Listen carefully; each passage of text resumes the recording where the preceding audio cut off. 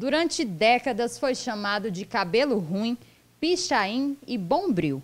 Mas hoje é símbolo de orgulho, aceitação, estilo e atitude.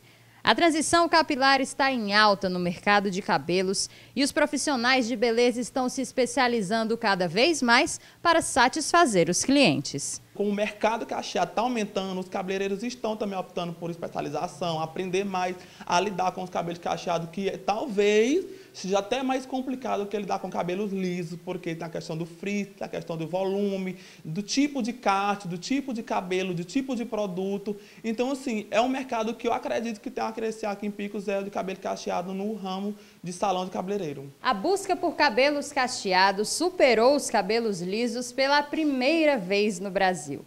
Os dados revelam um crescimento de 232% na procura por cachos.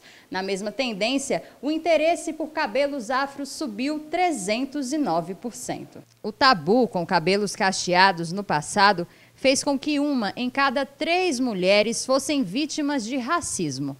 Para escapar do bullying, muitas passaram a alisar os fios, como foi o caso da Poliana.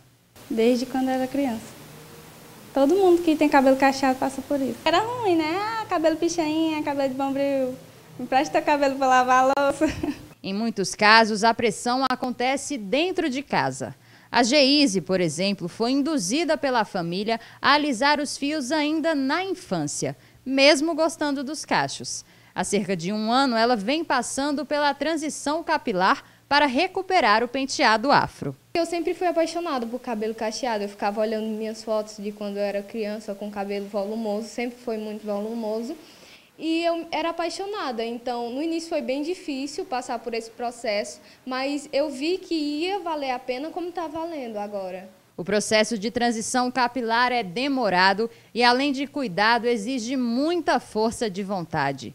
É preciso abandonar não só os produtos químicos. Escova e chapinha também estão proibidas até os cachos voltarem ao normal. O começo é isso, decidir parar de usar todo tipo de meios que alise o cabelo e assumir ele cacheado da forma que ele é.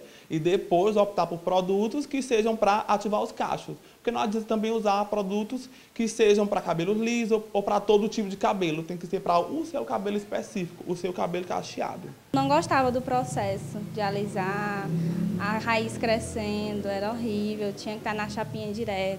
Se surgisse um compromisso em cima da hora e meu cabelo não tivesse lavado e alisado, eu não ia. Eu não gostava disso. Aceitação e empoderamento estão em alta. Prova disso foi a aclamação de Mona Lisa Alcântara como Miss Brasil. O discurso da modelo foi baseado na identidade da mulher negra.